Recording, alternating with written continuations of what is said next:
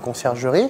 Ce qu'on fait, on propose trois services. Donc le premier, c'est de récupérer les achats des clients qui ont été faits dans la rue Saint-Ferréol. Euh, on les récupère, on les garde, on leur donne un petit ticket et on attend leur retour et on leur restituera leurs achats. Euh, deuxième service que nous nous proposons, c'est euh, la, hum, on délivre en fait des petites batteries portables. donc le client vient, nous donne une pièce d'identité, on lui prête une batterie et il nous la restitue à la fin de sa journée.